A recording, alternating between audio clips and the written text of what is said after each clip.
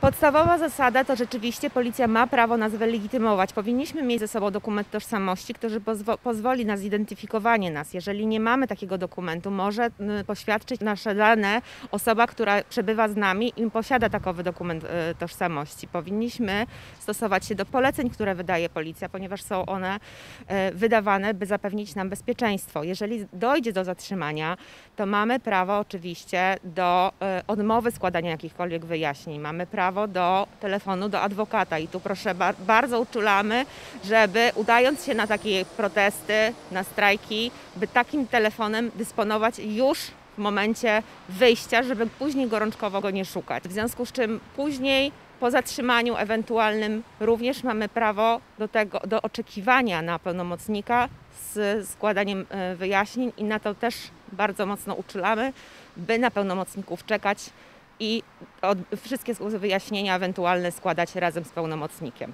Cała lista adwokatów i adwokatek dostępna na naszej stronie internetowej jest gotowa świadczyć w każdym momencie pomoc, w każdym momencie protestu, w każdym momencie ewentualnego zatrzymania, jak również doradztwo w tym zakresie, co można, a czego nie można podczas protestu.